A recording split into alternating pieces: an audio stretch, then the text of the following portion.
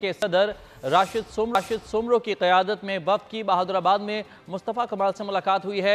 वफूद का आम इंतबात के लिए मुश्तर लाहे अमल, तरतीब देने पर इतफाक तर्जमान एम क्यू एम का कहना था कि जैली वफूद का मुजाकराती इजलास अगले अड़तालीस घंटों में होगा। मजीद जान लेते हैं अपने नुमाइंदे। वजाहत आप भी हमारे साथ मौजूद हैं। वजाहत बताएगा, क्या तफसलात हैं?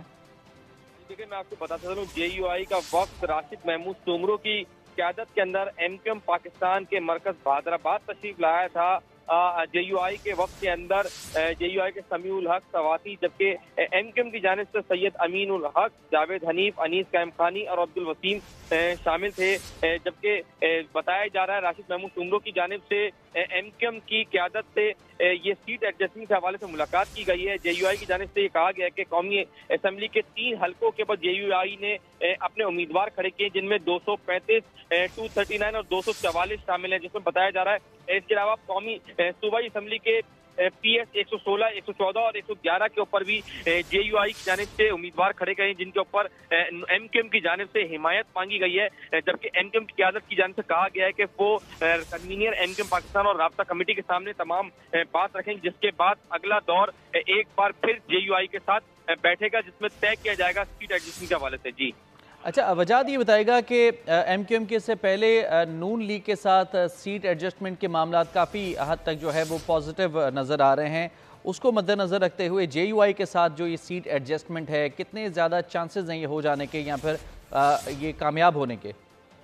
देखिए मैं आपको बताता चलूँ एम पाकिस्तान की जानब से वाज तौर पर ये मौकफ अपनाया गया है। दोनों मुलाकातों के अंदर नून लीग के साथ भी और जे यू आई के साथ भी कि एम पाकिस्तान कराची शहरी इलाके में अपनी रिवायती सीटों के ऊपर किसी भी किस्म की कोई सीट एडजस्टमेंट नहीं करेगी।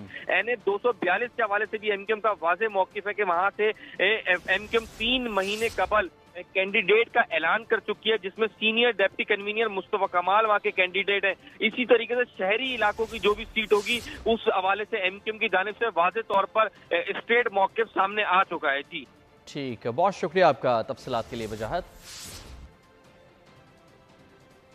तो खबर है कि आम इंतबात की सीट एडजस्टमेंट के लिए एम क्यू एम के जमीयत इस्लाम से मुजाकर हुए हैं। जे यू आई सिंध के सदर राशिद सोमरो की क्यादत में वफ ने बहादुराबाद में मुस्तफ़ा कमाल से मुलाकात की है। अदालत ने खुरम खोसा की बाजियाबी की दरख्वास्त मंजूर कर ली है।